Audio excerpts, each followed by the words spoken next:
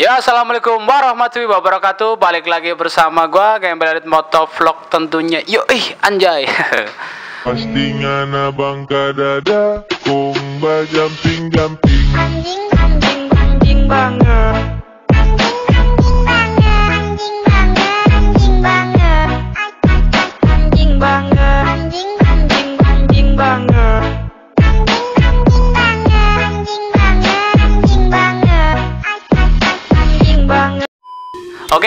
kesempatan kali ini gua mau nge-review motor gue ya, cuy. Eh, Satria Fu Karbu 2013 akhir. Jadi motor gue itu udah dimodif ya, dikit lah kantong-kantong belajar udah dimodif ala balap karung ya, spek balap karung 17-an cuy, anjay. Oh ya cuy, ini gua mau cerita dulu sebentar karena ntar spesial 2000 subscriber mau ada giveaway ya cuy. Jadi tolong kalian bantu share, bantu like, bantu komen ya. Dan yang belum subrek jangan lupa di subrek gitu biar kalian juga bisa ikut giveaway-nya cuy. Jangan lupa untuk selalu dukung channel ini terus dengan cara klik like, comment, share, and subscribe ya cuy. Dan jangan lupa juga aktifin loncengnya biar kalian biar kalian jadi orang pertama yang nonton video gua di saat gua upload video gitu ya cuy E, mungkin langsung aja gua mau mulai dari oke lanjut lagi mungkin mulai dari bawah dulu ya biar enak dari bawah ke atas gitu ya.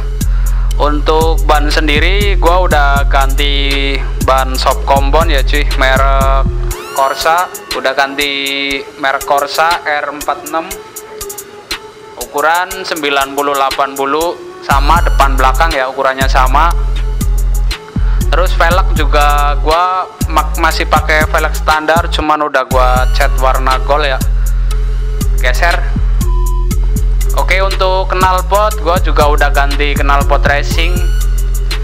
Merek Lone Rider ya cuy. Eh, untuk tipenya tipe apa ya? Lupa tadi. Tipe minicon untuk leherannya atau pipanya sendiri gua masih pakai Orion dari Proliner ya cuy. Eh, untuk underbone gua pakai CMC CMC terus geser lagi. Untuk Kickstarter gua pakai motor motor motornya apa ya? VR kalau nggak salah ini motor Tosa. Motor roda 3 untuk ban dep- ban depan juga sama ya. Gua pakai merek Corsa R46 ukuran 90 80 ring 17 dan untuk pemasangannya spakbor depan itu biar nggak mentok sama spakbor depan jadi lubang bautnya gua gua akal-akalin ya biasa akal-akalan si miskin cuy biar bisa kepasang. Sama pelek juga kayak di belakang pakai standar paling di cat doang warna gold. Oke lanjut lagi untuk undertail biar kayak spek balap beneran ya cuy anjay. Gua pakai customan ya kayak gini yang udah apa yang udah tinggal pasang. Ada lampunya juga lamp biasa gua beli online di Shopee untuk jok sendiri gua udah ganti kulit ya sekalian ditipisin biar bentuknya ini kayak gini biar makin nyaman aja gitu ya. Ini mah nggak terlalu halus gitu. Untuk behel belakang gua masih pasang ya masih masih nempel. Karena ini biar apa ya biar safety aja sih nggak buat bukan safety sih. Biasanya kalau geser-geser di parkiran itu gampang ada ininya kan. Untuk stripping gua stripping udah custom ya cuy ada tulisannya Gembel Elite Motovlog. Sekalian bodinya ini juga body gua udah kasih skotlet skotlet pelangi ya cuy skotlet rainbow cuy anjay. Oke lanjut untuk sayap sendiri gua udah potong ya cuy udah dipotong biar makin nyaman aja gitu sih biar ngelap mesinnya juga gampang terus di karbon juga sama led center juga di karbon dan dikasih stiker-stiker kenangan dikit lah cuy biar nambah mantap cuy. Biar nambah asoy asoy boy. Lanjut untuk ke saklar gua udah pakai saklar saklar apa ini namanya? Ya saklar yang penyetannya banyak kayak gini lah ini tombol berfungsi semua ya cuy. Cuman ini doang nggak berfungsi. Sama seset kanan kiri untuk master rem kanan kiri gua pakai master rem Brembo KW cuy anjay. KW karena nggak mampu beli yang asli. Terus depan juga patok udah gua karbon.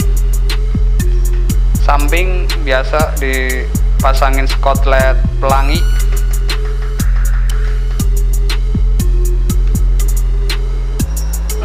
Untuk gas gua udah ganti gas spontan dari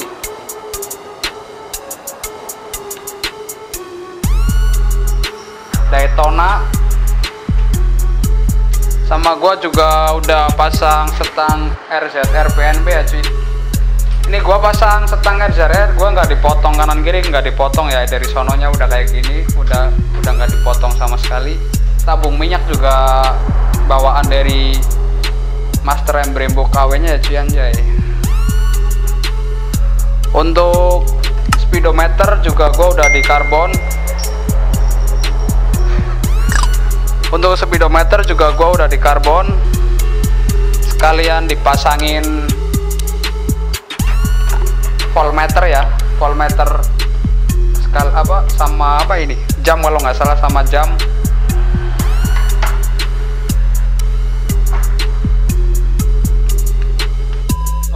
Lanjut lagi ya cuy Eh, gua juga untuk sayap udah gua potong ya. Sebelah sininya kanan kiri udah gua potong. Terus gua juga mau mau ngasih apa ya eh, bukan ngasih saran sih ya. Ya ini mah suka-suka kalian aja kalau pengen modif diapain mah terserah kalian gitu ya. Cuman kalau gua pakai bannya dulu ya pakai ban Corsa R46 ukuran 9080 depan belakang. Tujuan disamain itu ya biar apa ya biar makin bebannya itu makin berat aja sih gitu biar ya biar seimbang lah gitu. Untuk spakbor belakang kenapa gua copot? Ya karena emang biar apa ya? Biar ya modif-modif balap karung aja gitu ya. Biar kayak balap karung beneran gitu. Terus untuk knalpot gua pakai knalpot Lone Rider itu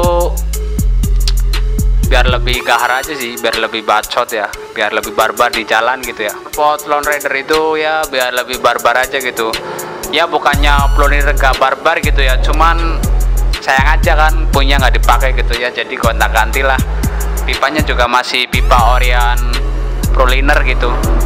Terus pasang underbone itu biar nambah enak gitu ya biar nambah enak. Pas reading itu biar nyam, nambah nyaman gitu. Pakai stang RZR terus kalau underbone kan agak ke, agak ke belakang gitu jadi agak pas gitu nunggingnya itu nunggingnya itu pas gitu ya untuk stang RZR juga gua biar pas aja sih pas reading pas gitu ya. Biar enak lah buat buat di jalan itu enak gitu. Nggak nggak bikin nggak nyaman gitu ya. Pokoknya nyaman lah gitu. Pokoknya gua mau dip itu senyaman mungkin gitu. Biar kita itu kalau di jalan itu nggak bosen gitu ya. Pakai motor sendiri itu biar nggak bosen. Terus tujuan ganti knalpot racing juga biar nggak ngantuk kalau di jalan kan. Soalnya gua juga sering suka lah suka jalan-jalan jauh gitu keluar kota gitu. Jadi bawaannya itu ngantuk gitu kalau sendirian. Jadi makanya gua ganti knalpot racing. Ya saran aja sih kalau pakai knalpot racing. Kalau di jalan raya mah nggak usah geber-geber gitu ya. Eh, ingat cc kecil cuy. Malu sama yang cc nya gede anjay. Karbu gua pakai PE 26 kalau mesin gua masih standar ding ding ya cuy. Standar ding ding gitu. Jadi gua cuman main di ban knalpot setang sama nyopot sepak berbelakang aja gitu. Ya udah kayak motor spek balap karung gitu. Cuman ya kayak gini doang nggak ada larinya gitu. Cuman tampang doang gitu. Ya kalau mau di mah menurut selera masing-masing gitu ya. Kalau gua mah seleranya kayak gini kan beda lagi ntar kalau misal kalian seleranya apa gitu di sini gua cuman mau sharing aja gitu ya. Barangkali ada yang apa namanya ada yang pengen dipasang apa gitu. Terus di sini ada kan bisa oh iya ini kalau udah pasang kayak gini jadinya kayak gini gitu ya. Mungkin gitu aja ya cuy Eh, video kali ini kalau ada yang mau ditanyakan silakan tulis di kolom komentar ya cuy kalau masalah harga jujur aja udah lupa ya soalnya itu nggak langsung dibikin kayak gini semua gitu. Jadi gua itu bikin ya nyicil gitu ya. Dari masang skotlet dari karbon gitu nggak langsung semua. Langsung itu nggak langsung gitu ya. Pokoknya kalau ada yang pengen nanya harga silahkan tulis di kolom komentar aja ya. ntar gua pokoknya ntar gua jawab satu-satu gitu. Mungkin gitu aja sih video dari gua. Kalau ada salah kata gua mohon maaf yang sebesar-besarnya. Salam dari gua Gembel Motovlog. Sekian dari gua. Wassalamualaikum warahmatullahi wabarakatuh. Salam satu aspal Rider Bucin. Bye bye.